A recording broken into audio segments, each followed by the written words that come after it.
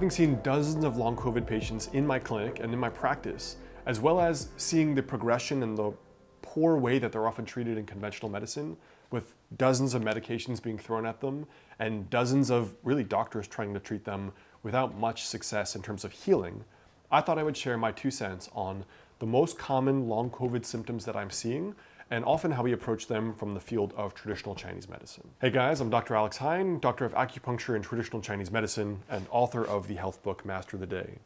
So before we jump into this video, there are two very important links right below the video. The first link is for a free guide I've put together, which is four daily rituals that could potentially help you add years to your life with traditional Chinese medicine. And the second is if you'd like to become a patient of mine locally in Los Angeles or virtually via telemedicine, you can reach out to my private practice and clinic with the link right below this video. So first, let's jump into the literature a little bit and take a look at some of the documented most common long COVID symptoms.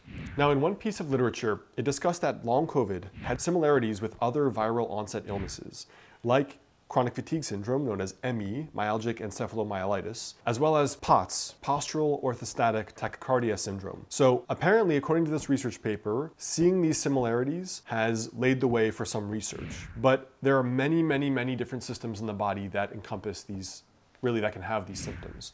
So cardiovascular, thrombotic, type 2 diabetes, chronic fatigue syndrome, uh, POTS-like symptoms, dizziness, palpitations, etc., and the final line here, symptoms can last for years, particularly in cases of new onset chronic fatigue syndrome. They are expected to be lifelong. And I'm going to leave that there because it's BS. So in my practice, there are three broad categories that I see probably 90% of patients come in with. The very first category is just general nervous system, right? These are the POTS-like symptoms. Palpitations, issues with heart rate regulation, tachycardia, racing heart, anxiety, panic attacks, insomnia, dizziness, and even sometimes hot flashes associated with nervous system dysfunction. The second category is digestive slash respiratory. And I share them because in the field of traditional Chinese medicine, we often treat them in some cases the same way or with the same formulas even. So some examples are gas and bloating, nausea, mysterious abdominal pain, chronic coughs and shortness of breath, uh, sinus issues and runny noses, and the third is a hybrid category, one that I lump under the category of lymphatic issues. So some of them overlap with digestive and respiratory and nervous system, but they involve things like chronic wandering sensations or low-grade pressure in the head, chronic low-grade headaches, low immunity, and things like that. So I would say of the 50 or so most recent long COVID patients I've seen, probably 90% of the symptoms have been in these three buckets, and a very smaller percentage in other buckets. Now, the million dollar question is why does it happen, right? Because not everyone that gets COVID develops long COVID symptoms. And based on the literature, each research paper has a different estimate for what percentage of people develop long COVID as a general through line statistic across the board.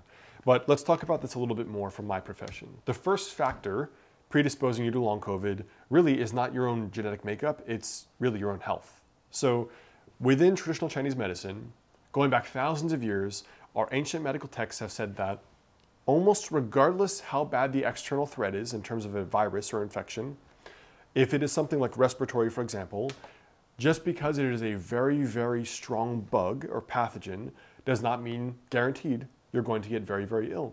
And COVID was a perfect example. The whole world went into shutdown and lockdown, and yet it was very easy to predict based on these predisposing factors, based on your age demographics, and based on some genetic factors, how bad your COVID is going to be. Your body weight, medications you're on, other illnesses you may have like uh, depression or maybe you're taking antidepressants.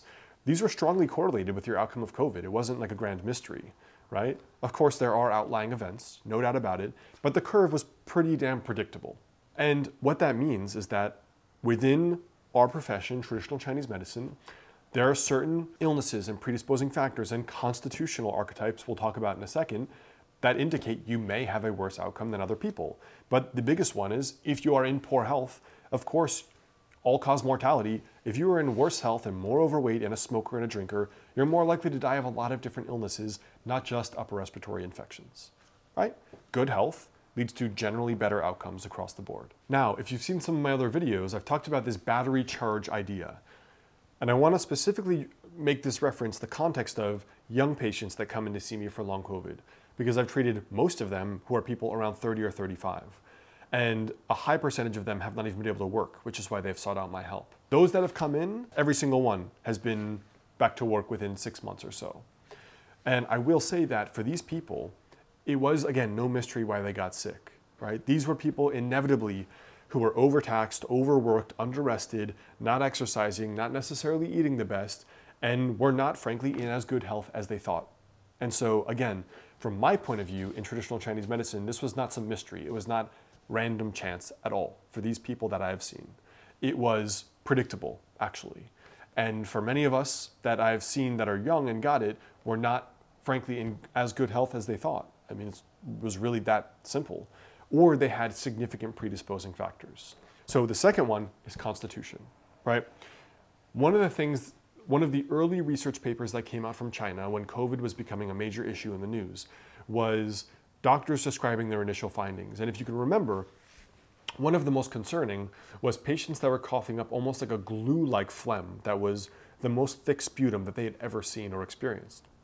Now, they kept saying these things like glue like, right? Some of my own patients that I had initially seen when COVID was on the scene and was the initial strain, like the alpha strain, that was a much more virulent one and people were getting much sicker. They kept talking about this glue like sputum that they were having.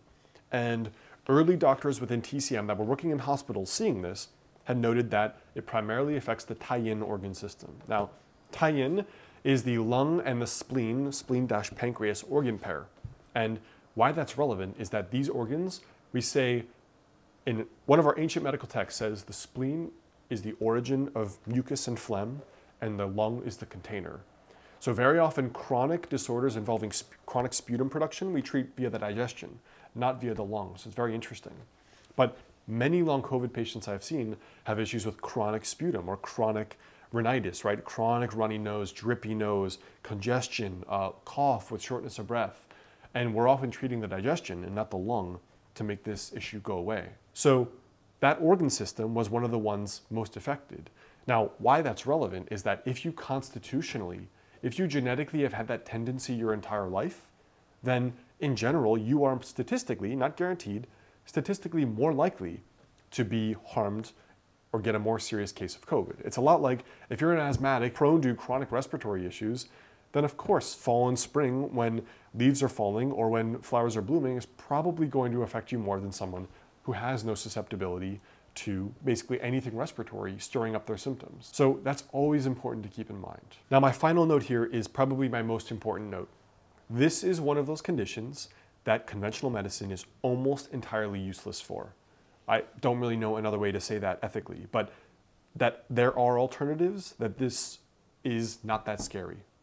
I see patients who've been ill for two years now on a dozen medications, typically an antidepressant, anti-inflammatory, sometimes steroids, sometimes a benzodiazepine as well. And the majority of them are not that scary to treat to people in my profession. I will leave a veiled meaning in this video for you if you need the help. And it is something that is completely, utterly mistreated and is conventional medicine has been useless for, besides medicating you to high hell. So it's not common that I'll be this bold, but I've seen how sick some young people can get and, and older people, and very few of these cases are not able to be helped by our profession. So I'll leave that there for you in this video.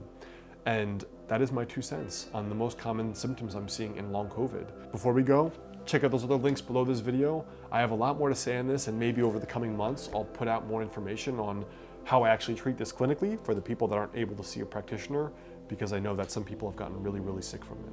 So that's what I have for you today, guys. Check out those links below the video, and I'll see you soon.